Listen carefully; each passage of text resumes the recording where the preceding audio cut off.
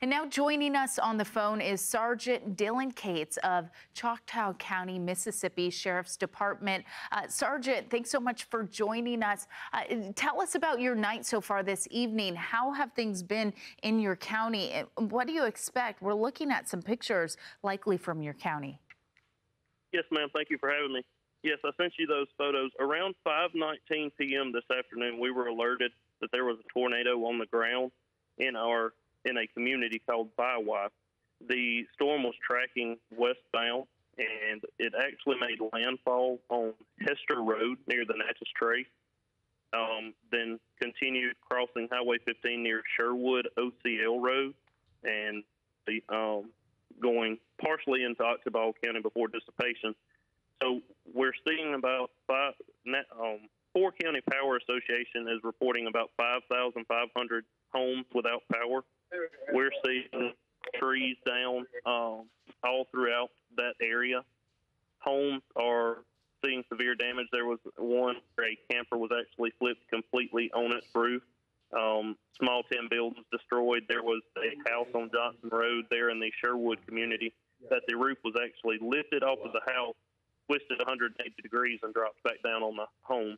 Wow. Um, thankfully, we have no reports of any injuries at this time. There was a vehicle accident um, caused in relation to the storm, but no one was injured in that. So we're thankful that we've had no major injuries and no homes destroyed, but some severely damaged. Yeah, it sounds like severe damage. Uh, you mentioning that home where the roof was uh, completely lifted up, maybe 100 feet, and dropped back down on the home. Really incredible to hear that uh, people, if they were in their home, of course, I don't know that fact, uh, but they were not injured. As you're reporting, no injuries. So, what does it look like for the rest of your night? Obviously, a lot of people in these communities now without power, a lot of people may want to venture out, see some of the damage and start surveying some of the damage. But again, we have to remind people that severe threat is going to enhance maybe again for some of these communities. So what do you say to people in these communities as we start to see some of this damage this evening?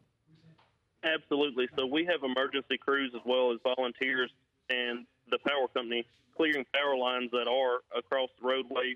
We're blessed with volunteers and people who are helping uh, homeowners cut their way out of their driveways and get uh, trees off home.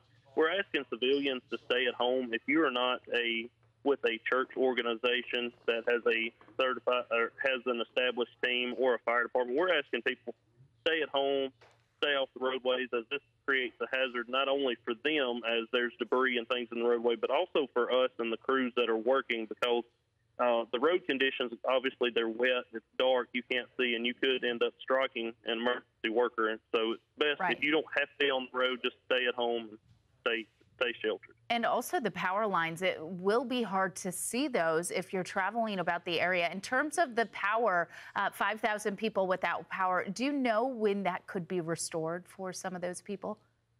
So our Four County Electric Power Association is group of hardworking guys. They're out now working on getting these poles going.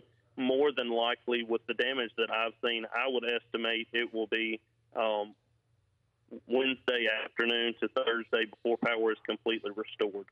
All right, within the next 24 hours, maybe even a little bit longer, as we can hear there, a lot of work to be done. Sorry to see and hear about some of the destruction in those communities. Hoping for a safe rest of your evening. Uh, Dillion Cates, Sergeant Dillion Cates of Choctaw County, Mississippi, thanks for joining us.